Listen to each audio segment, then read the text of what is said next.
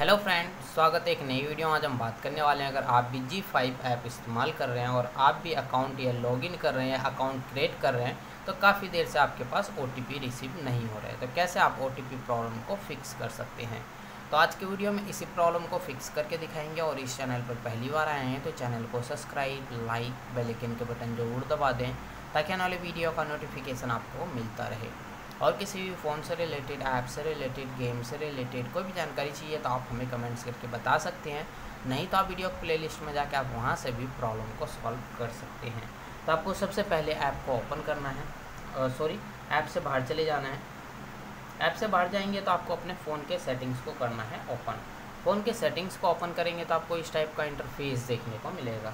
आपको ऐप्स पर क्लिक करना है। ऐप्स पर क्लिक करेंगे तो आपको इस टाइप का इंटरफेस देखने को मिलेगा।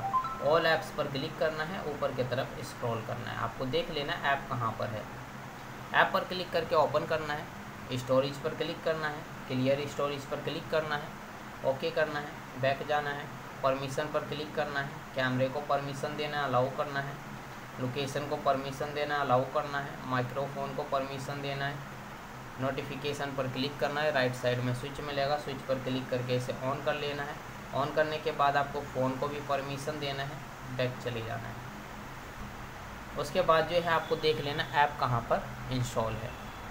ऐप पर क्लिक करके ऐप को ओपन कर लेना है अकाउंट लॉगिन कर लेना है, आपका प्रॉब्लम फिक्स हो जाएगा। अगर आपका प्रॉब्लम फिक्स नहीं होता है तो ऐप को अनइंस्टॉल करके दोबारा से इंस्टॉल करना, आपका प्रॉब्लम फिक्स हो जाएगा। अगर फिर भी नहीं होता है तो आप हमें कमेंट्स करके बता सकते हैं, मैं आपको रिप्लाई ज़रूर दूँगा। और हमारे वीडियो देखने के लिए शेयर सब्सक्राइब लाइक बेलेकिन के बटन ज़रूर दबा दें, ताकि आने वाली वीडियो का नोटिफिकेशन आपको मिलता रहे। मिलते हैं नेक्स्ट वीडियो में एक नई टॉपिक के साथ, तब तक के लिए नमस्कार।